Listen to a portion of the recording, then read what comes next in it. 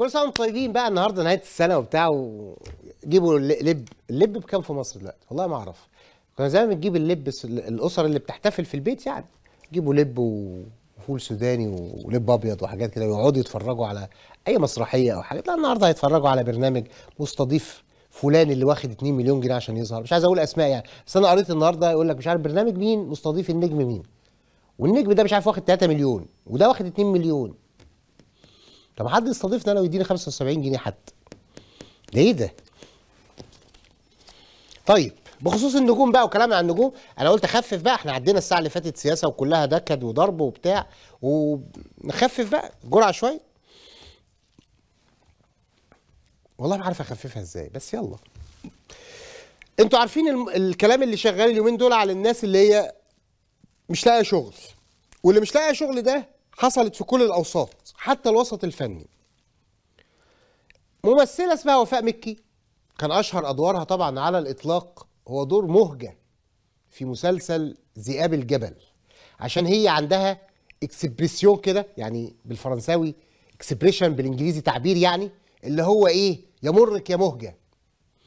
فكان التعبير ده متداول في التسعينات الجيل القديم العواجيز اللي زي يعني. كان دايما ياخد التعبير ده قبل ما يطلع الترند والبتاع ده لما تحصل حاجة يقول يمرك يا مهجة. فالست مهجة اللي هي وفاء حلمي وفاء مكي وفاء حلمي إيه؟ وفاء مكي.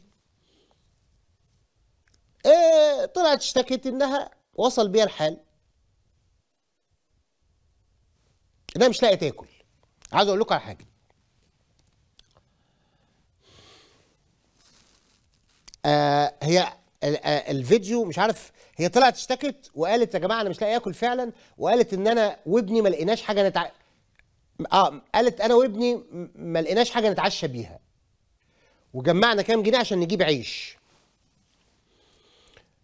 أنا عايز أقول لكم إن أنا سمعت من إح من أحد المشاهير في مصر عبر اتصال يعني نفس الجملة والله بس طبعا مش هقدر أقول اسمه عشان ما يتقبضش عليه إنه أنا وابني ما عرفتش ألاقي له في الثلاجه بيضتين عشيه بيهم يا عم ده أنت المفروض يعني لا لا ده الصورة اللي بره غير الصورة اللي جوه.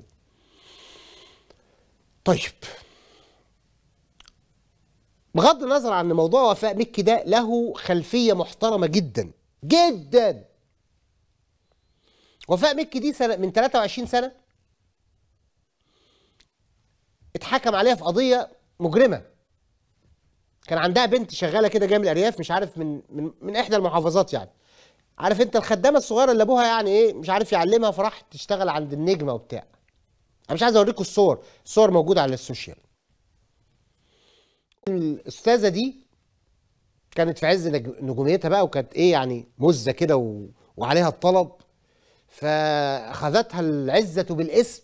البت ما يعرفش عملت إيه اي أي حاجة الشغالات بيعملوها في البيوت. بنت صغيرة طفلة. يعني مش مش انسه مثلا عشرينيه ده طفله مثلا 12 13 سنة. فراحت غلطت مثلا عملت حاجة غلط بتاع فراحت الأخت وفاء مكي دي عاملة فيها الجريمة البشعة.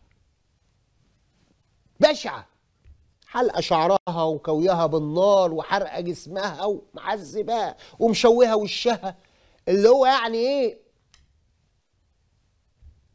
كلام ما أنزل الله به من سلطان. جريمة بشعة يعني. فالحقيقة آه، طلعت وبتاع وراحت قبض عليها وخدت مش عارف حكم كام كده حاجة كده بسيطة يعني. وبعد ما طلعت بقى من السجن إيه بدأت الأضواء تخفت عليها الحقيقة المنظور هنا المنظور بالنسبة لي وبالنسبة لناس كثيرين جدا. هو أنت يا جماعة دي جريمة عادية جدا. ممكن على فكرة كلنا نغلط يعني. أنا مش ب... آه، هنا مش ب... بصوب عليها النار وبقتلها. من كان منكم بلا خطيئة فليرميها بحجر. لكن هنا بقول لك الشاهد من الكلام إيه؟ إنه إذا كان ربك ربك العدل ما سابش حق البنت الصغيرة اللي جاية من الأرياف بعد 23 سنة. فإذا بالهانم اللي كانت بتعذبها تقعد ما تلاقيش تاكل. أنا أتمنى يا رب يكون البنت أو أهلها بيسمعوني. ويبعتوا لي دلوقتي يقولوا لي أحوالها عاملة إزاي. طبعا ربنا أكيد يعني وسع عليها اتجوزت وخلفت وعايشة زي الفل. عشان بس اللي بيشكك في عدل الله.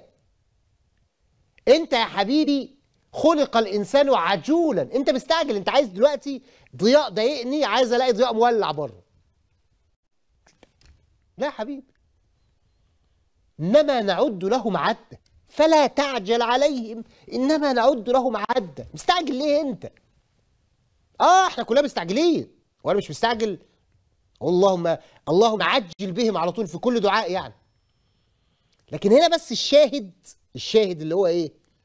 ربك ما سابش حق البنت المسكين وجات عند وفاء مكي وربنا يغفر الخطايا والحمد لله إن الأستاذة وفاء بعد ما عملت الحكاية دي راحوا جابوها من آه، اشتغلت في مسلسل.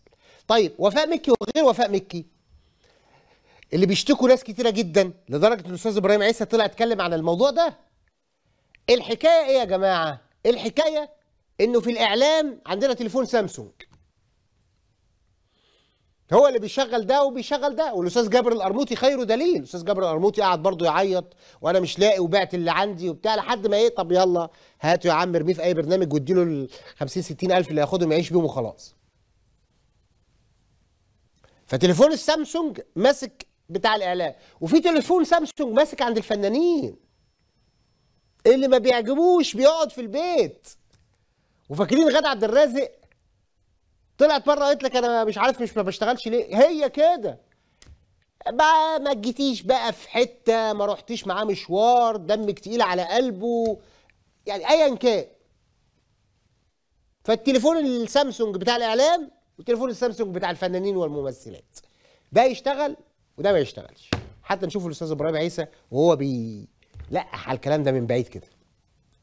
مصر وهي لا تملك الكثير من القوى الاقتصادية ومصر وهي في أزمة اقتصادية عارمة طاحنة عليها أن تنتبه لقوتها الحقيقية ولثروتها الحقيقية. والثروة الحقيقية اللي موجودة في مصر هي قوتها الناعمة بشرها وناسها عقولها ومواهبها وفنها وثقافتها. والحقيقة الدولة المصرية تهمل القوى الناعمة.